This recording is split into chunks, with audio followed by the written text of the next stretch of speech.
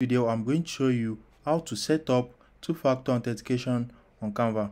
So if you want to make use of authenticator app to get a code to log into your canva account let me show you how to enable it.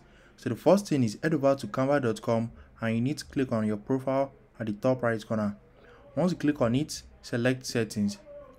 Right here in your settings at the left hand side click on login and security. Once you click on it scroll down and under security you are going to see authenticator app. So click on enable. Once you click on it enter your account password and click on confirm password. Once you click on it you need to scan this qr code with your authenticator app.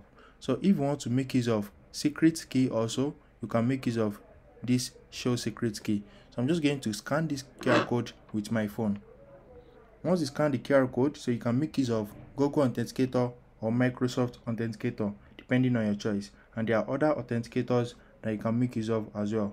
So let me scan it with my phone. So i'm about to scan it. I've scanned it and it is now added to my authenticator app. So now the code is tux 553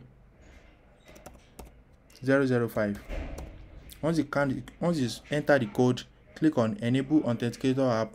So you can also copy your backup codes. So now click on finish setup and that's it.